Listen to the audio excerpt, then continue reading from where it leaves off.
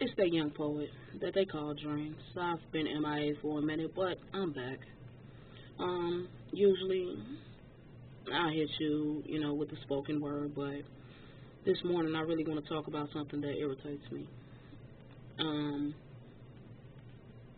with the social media sites or whatever the case may be, I constantly go through my news feed on Facebook and I see those who don't do nothing but complain. I mean, complain about everything. But I come as a humble servant. And I praise God every day. Although this last year has been pure hell, God woke me up every morning to change my situation. So the fact that you woke up this morning and you're able to complain about whatever's going on in your life, the baby daddy, baby mama, this nigga ain't shit, this woman ain't shit. What you need to do before you get on Facebook and you start complaining, you need to take time out to get on your knees, look up in the sky, and say, What a good God that you serve. Because he didn't have to wake you up this morning for you to fucking complain about some bullshit that you put yourself into. So, basically, what I'm saying is, we go through life and we blame other people for what the hell we going through. When what we need to do is we need to look in the mirror. And we need to change that person that's looking back at us. Because once you change that person that's looking back at you, and you understand that your own self worth, nobody can affect your day or your life or your attitude or your mood. And I look at, you know, a lot of people reading these books. You know, uh, Big Booty, uh, Round the Way Girl, and this and that. How about you pick up a Bible? The basic instruction before leaving Earth. And every word in there is going to show you how to guide your life day to day. So before you go and you blame the next man for what you're going through, look in the mirror and ask your damn self what did you do to put yourself in this situation? Because guess what? If you don't stand for shit, you will fall for anything.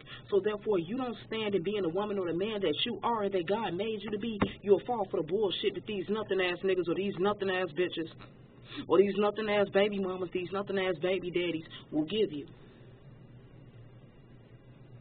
So when it all boils down to it, the only person that we have to blame for the bullshit that we go through in our life is our damn selves.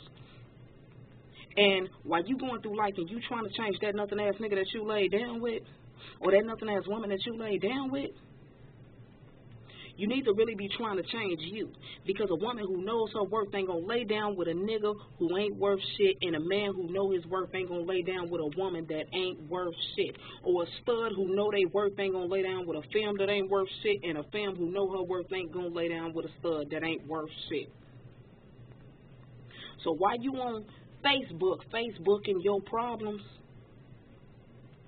How about sitting down, taking some time to yourself and facing your own motherfucking problems? Because at the end of the day, Facebook don't give a fuck about what you going through in your life. We look at this shit for entertainment. It's funny because motherfuckers who hide their life together, who know they worth, and basically then reevaluate if they like to get their shit together. Looking at that bullshit that you putting on Facebook ain't shit but entertainment. We don't give a fuck. So, how about actually sitting down, talking to God? The one person that not only cares, but the one person that's going to bring you out of that storm. Opposed to looking for validation from bored motherfuckers, basically. Because I get on Facebook when I'm bored, and I get on it for entertainment. So, really, you're not going to find a solution to your problems on Facebook, Twitter, or Instagram. If you're looking for the solution to your problems, open up the Bible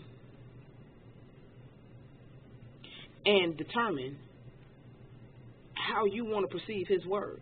Because understand something that everything that he has written, everything that has been written in that Bible is going to help you with whatever you're going through in life. And this is speaking from personal experience because I done been there, I done done that, I done Facebook my problems, I done told my problems to motherfuckers that don't give a shit. But at the end of the day, when I fall down on my knees and I talk to my father, at the end of the day, everything is all right.